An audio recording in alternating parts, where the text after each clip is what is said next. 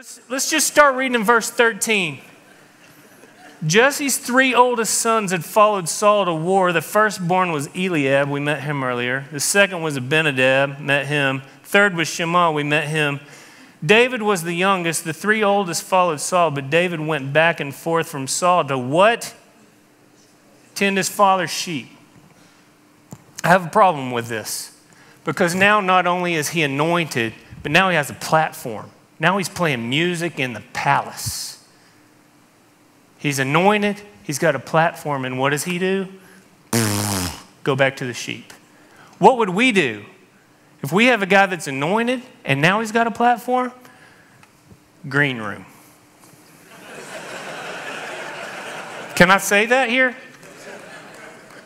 That's what we do. I'm guilty. The more anointed we get, if, that, if, you, if that's even a thing, and the more your platform gets, the more we separate ourselves from the sheep. Sit back here on couches and drink coffee and talk about how awesome we are. I'm not saying anything's wrong with the green room. You got to get back there, you got to pray, you got to be ready. But you shouldn't live in the green room. You should be accessible to the sheep.